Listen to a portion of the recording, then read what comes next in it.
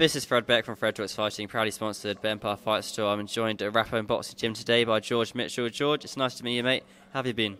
Not bad, mate, not bad. Just tell me, George, obviously a lot of people watching this won't know who you are just yet. Tell me a bit about yourself and your boxing journey so far. Amateur career, I was three time national champion, 66 fights, 60 wins. Turned pro now, I'm 3 0 with one knockout, fighting on the 14th of, 14th of May. Sounds like got a plan there, but what? So you only lost six times in 66 fights? Six times in 66 fights, yeah, not too bad. Yeah, it doesn't, it doesn't sound too shabby as well. In what, you- what age did you start boxing? In the age of eight? I started at 8, yeah, and then obviously built my way up. That sounds pretty good then. In tour, you got your fight date. It's on the Dean White card, I'm correct in saying, isn't it? Yeah, the Dean White show is um, the Money Heist. It's his third show. I was on the first one, all that's on the 14th of May, and I've got another one on the, the 4th of June as well, so two straight off. How good is that, obviously, coming up after lockdown? How good does that feel, just kind of be staying active? Yeah, it's good. I want to stay as active as I can. Like, hopefully, after these two, I want to try and get um like another two in. So that's I've had f- hopefully five this year. I've had one so far, so then get another four, and hopefully that's what I'm going to try anyway. How do you kind of plan for your professional career to go in the first few years? James, you look fa- move fast? Some people do, some people don't. I'm just going to keep building my way up. Get this year out of the way, then next year go for it.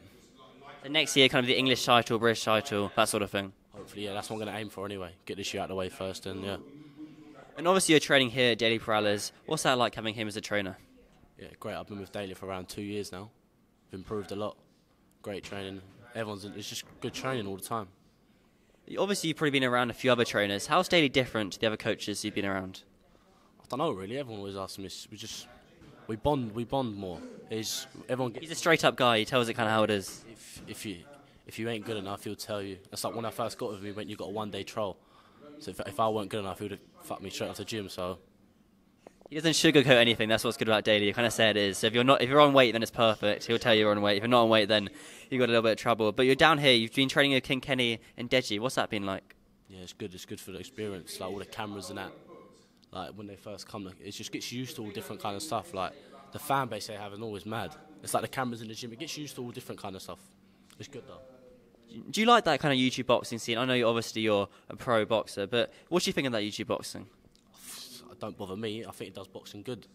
Gets more people involved and more the fans. Like even when they built my fan base up, like my Instagram and that, shot me up like 500,000 followers. So I'm not complaining. Yeah, certainly. It gives you guys a lot more exposure, which is a good thing, obviously, for selling tickets and obviously sponsors. But people can people buy tickets for your fight yet? Not yet. I'm gonna pick them out on the weekend. So hopefully I'll put it out on my Instagram today and get the tickets out. Awesome. Where people find you on Instagram, social media wise, and they'll contact you? George Mitchell. Dot. Oh, George Mitchell 06 dot. I think that is. I'm sure it is. I'll put the link in for it for the description anyway. But George, thanks for the time, mate. That's perfect. Thanks a lot. Cheers, mate.